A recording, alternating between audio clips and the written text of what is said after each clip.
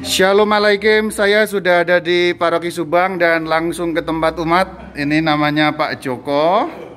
Tadi saya bersama dengan Pak Girsang.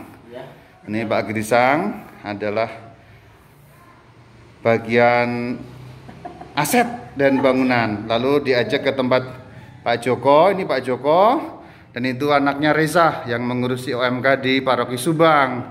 Nah ternyata tidak terduga Kat Kitchen Pak Joko ini sudah mengenal saya dari secara virtual ya Pak Joko ya. Iya betul Romo. Ternyata gimana Pak Joko? Ceritakan Pak Joko, gimana Pak Joko? Waduh luar biasa Romo. Tadi katanya kalau pagi-pagi sudah langsung nonton apa gimana Pak?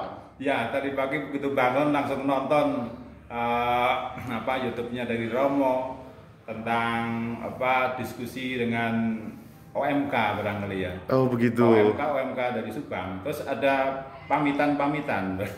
Iya pamitan dari paroki yang sebelumnya ya Pak. Sebelumnya ya rencana mau menuju ke Subang gitu. Jadi Bapak ini sudah subscribe di YouTube ya Pak ya? Kelihatannya sudah atau belum ya? Tapi tidak tidak penting Pak, tidak penting Pak ya. Tapi yang penting nonton. Betul. Memangnya ada apa yang berkesan atau apa yang ingat Pak satu dua hal ya?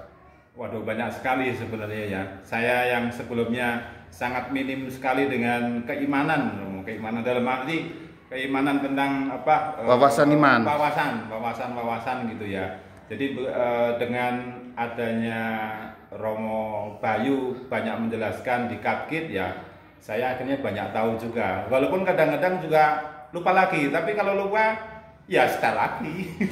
Untunglah video ya Pak ya. Iya. Jadi kalau lupa kan jadi style lagi diulang lagi ya. Betul. Karena masih ada historinya Romo. Ah baik baik baik. Jadi historinya bisa kita buka lagi. Luar biasa. Ini saya tidak sengaja Katkizan saya ke sini. Ini hari pertama saya ke Subang. Tadi keliling dengan Pak Girisang, ambil lampu dan beli semen untuk pembangunan Romo Sigit. Sekarang ke Pak Joko. Tadi ini saya sudah kenal dengan Pak Joko dalam wujud lampu.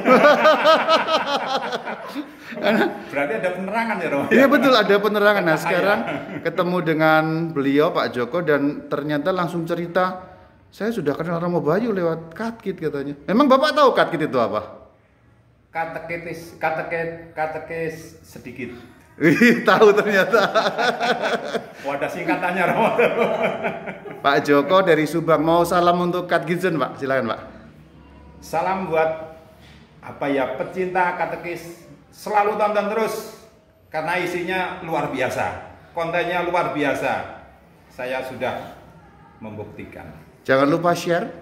Tentu jangan lupa share. Nggak usah subscribe, nggak apa-apa. Yang penting share. Ya, yang penting share dan nonton. Dan tentu nonton. Kalau usahakan nonton sampai habis supaya tidak gagal paham. Terima kasih Pak Joko. Sami-sami. Ini kesan yang mendalam hari pertama saya di Subang ketemu dengan Kat Gizen. Terima kasih. Shalom alaikum.